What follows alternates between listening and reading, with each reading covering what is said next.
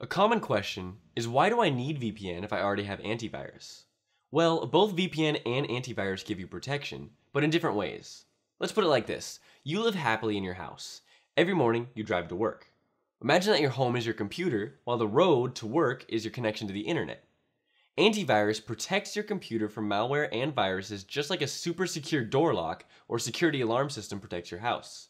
It all changes when you leave your house and drive to work. Roads can be dangerous just like an open connection to the internet that makes you vulnerable to cyber threats. Here's where VPN steps in. VPN creates a secure path for you to get to your online destination without any unpleasant incidents. With VPN, you can enjoy peace of mind every time you access the internet. While traveling between you and the website, your sensitive data is safe from snooping, hacking, and other cyber threats lurking on the roadside.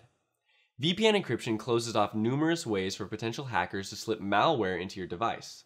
With NordVPN, you'll also get CyberSec, a built in feature that flags malicious websites before they have a chance to infect your computer or mobile. But it doesn't mean that antivirus isn't important. For comprehensive security, you should use both VPN and a premium antivirus software to protect your devices and your identity online.